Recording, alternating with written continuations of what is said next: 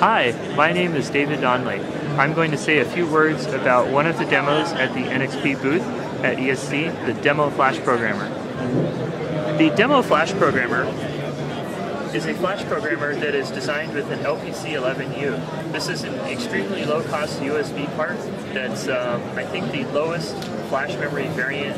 List price is 99 cents, and it is set up to do flash programming of an LPC 1227. So the thing that the Demo Flash Programmer represents is it's a set of code which we plan to release to the open source world to make possible uh, more Cortex ARM and SWD flash programmers.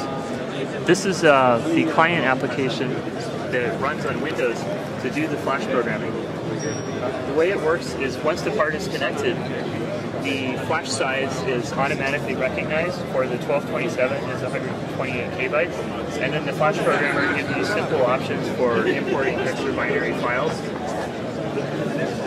and then programming the target device.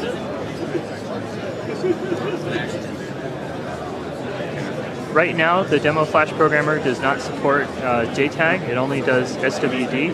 However, it is um, definitely would be really good code for somebody who wanted to build their own uh, kind of debugging system, like maybe for um, uh, maybe if they're building a library that attaches to GDB or something like that.